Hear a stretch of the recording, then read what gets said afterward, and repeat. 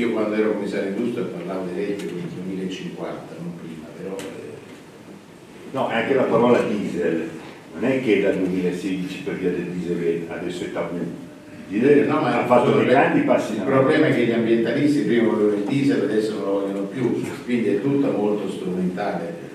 Non voglio essere negativo perché cerco sempre di evitare polemiche, però non vorrei che dietro certe scelte eh, nel fondamentalismo ambientalista ci siano anche interessi economici e non sia tanto ideale, ma ci siano più diciamo, interessi non, di amore per la natura, ma per amore delle tasche. Anche perché i produttori delle case automobilistiche americane stanno facendo dei passi indietro. eh. No, Io non escludo che si possa, se si dovesse arrivare ad un risultato diverso, e si dovesse essere una maggioranza diversa, io mi auguro una maggioranza popolare, liberali, conservatori, però che lo votano i cittadini, e anche il famoso target 2035 si potrebbe modificare e forse la Commissione dovrebbe anche spiegare meglio eh, tutti i contenuti delle normative in materia di produzione di piano. Su questo ancora molto la comunicazione dell'Europa è un po' deficitaria.